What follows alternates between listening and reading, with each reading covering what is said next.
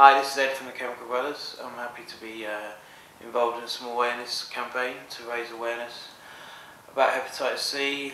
I'm glad that the International Music Summit is involved. Um, could be a good starting point for people to find out how they uh, might be put themselves in danger of picking up the disease and provide some kind of impetus to get tested if they feel they've uh, maybe been exposed to it over the years.